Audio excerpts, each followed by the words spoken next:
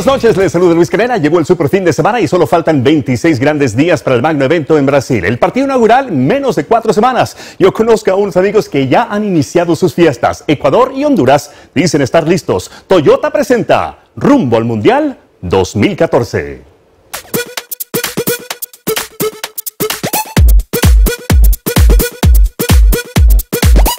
Nada compara con la gran fiesta del deporte más popular del mundo. Ecuador, sembrado en el grupo E junto con Suiza, Francia y Honduras, está celebrando su tercera participación en Copas Mundialistas. Luego de impresionar en su debut en Corea del Sur y Japón en el 2012, la tricolor aprovechará y buscará en esta oportunidad en Brasil 2014, de la mano del técnico colombiano Reinaldo Rueda, superar lo alcanzado en Alemania 2006, cuando avanzaron hasta los octavos de final.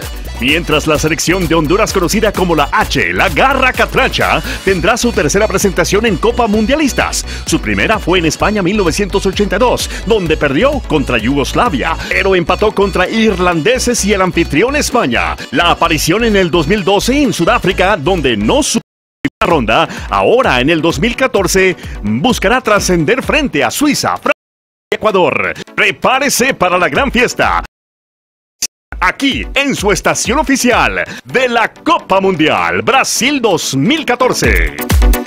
La noticia del día nos llega desde España. Un hombre que lo ganó todo le dice adiós al fútbol. Podría despedirse con una Barcelona campeón, pero más allá de eso, Carles Puyol deja un legado lleno de éxitos que lo hacen uno de los mejores defensores que ha dado la madre patria. A sus 36 años, las lesiones lo alejan de su pasión. El Fútbol Club Barcelona ha anunciado el acuerdo con Leo Messi. Se convierte en el futbolista mejor pagado del mundo, cerca de 250 millones de euros. Y el boxeo, el mexicano Juan Manuel Dinamita Márquez vuelve a subir este sábado al cuadrilátero para enfrentarse al estadounidense Mike Alvarado sin que haya un título mundial en juego. El combate en el Forum de Inglewood, ambos no tuvieron problemas para dar el peso.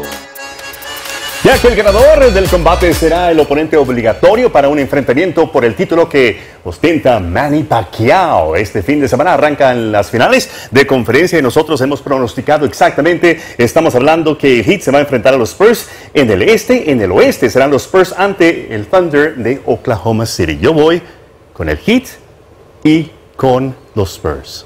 Otra vez va a repetir la del año pasado. Va a ser fabuloso. Así es. ¿Y tú con, con quién vas? Yo quiero que le ganen al Heat. Ya es tiempo que gane otro equipo. ¿Quieres un Gustaría cambio? los Spurs. A ver qué pasa. Sí. Yo también. Muy bien. Muchas gracias. 27, 27 días. 26. 26, siempre me falla por uno. Muchas gracias, Luis. Vámonos a un corte y ya regresamos con más. No se vaya.